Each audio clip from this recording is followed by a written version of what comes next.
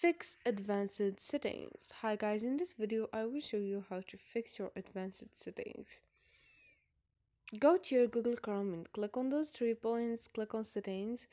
So here guys like you see you will find basic settings at the top. Then you will find advanced settings which is home page accessibility languages downloads whatever you want here guys you can choose the option you want and fix those options.